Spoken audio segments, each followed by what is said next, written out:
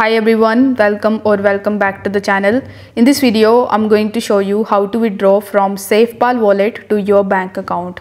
First of all, you need to understand that SafePal is a non-custodial wallet, meaning that it doesn't directly support the bank accounts. However, you can withdraw your funds by transferring them to a centralized exchanges like Binance or Coinbase and then you can cash out to your bank account from there so if you want to do it you need to simply launch your safepal wallet. And here on the home page you will see this send option. So you need to simply tap on send. And here in this list you will see all of the assets that you can basically send over here.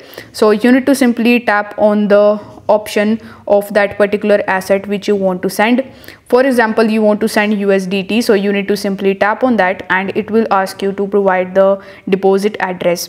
So in order to get the address you need to simply launch your exchange. It can be binance bybit coinbase etc so for this video i'm going to launch my bybit account. So after launching it you need to tap on the assets tab and tap on deposit now here tap on the deposit crypto option and you need to simply search for USDT so after searching for USDT you will be able to simply find it and tap on it and select the network. Now after selecting the network you will see the QR code as well as the deposit address. So you need to copy it from here then go back in your SafePal wallet and paste the address in this section. On the next page you need to simply enter the amount and confirm the transaction. Then you need to wait for the transaction to be processed and it definitely depends on the network speed but it may take up to 5 to 10 minutes.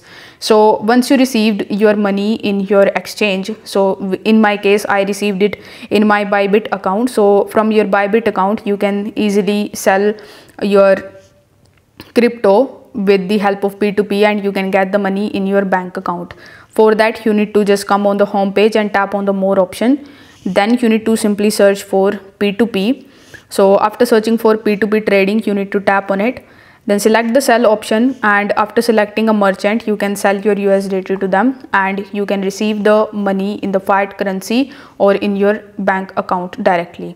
So if this video was helpful to you give it a like and subscribe. Also share it with your friends who needs it. Thanks for watching. I will see you next one.